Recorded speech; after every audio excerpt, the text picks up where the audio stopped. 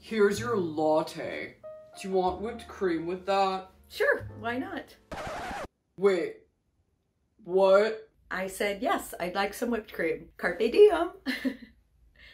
You, you actually want whipped cream? Because eh, nobody ever asks for whipped cream on that. What's wrong? Is the whipped cream bad or something? How should I know? It's I've never gotten this far before.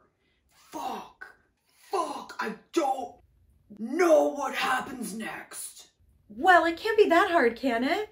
I think you just um get some whipped cream and put it on. I literally don't even know what half of those sentences even mean. I'm not from here, okay?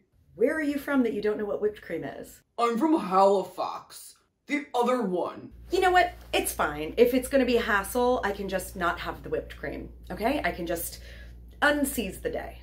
And we're way past that now. Is this it? Please say this is it. That's peanut butter. Well, you don't have to yell at me. Thomas! Hi, can I help you? Uh, yes. He just asked if I wanted whipped cream, and I said I did, and remarkably, we're at some sort of impasse here. What? What kind of person says yes to that? What do you mean? It's totally normal to say yes when you're offered whipped cream.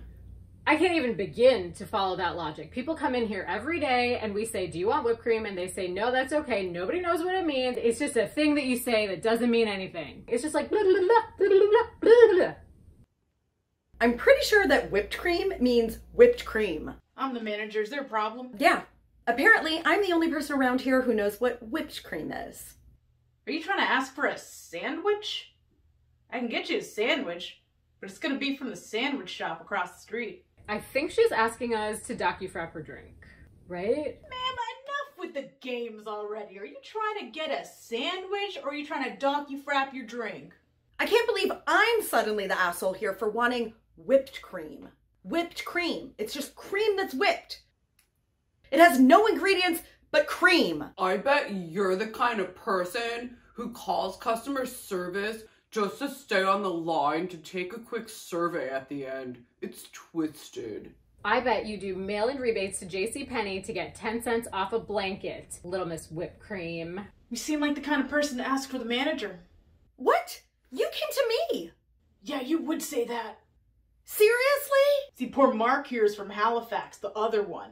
And you come in here with your whipped cream nonsense and make him look like a clown. Little Miss Whipped Cream. Well, you know what? I don't need to take this from someone who's not even from the real Halifax. You're twisted. And a manager who thinks it's insane to speak to a manager. That's low. And a coworker who doesn't even know basic drink toppings. Nobody has any idea what it means. I don't need your whipped cream, and I don't need your bullshit. Oh shit. Is this what she was talking about? Nah, everyone knows that's whippets.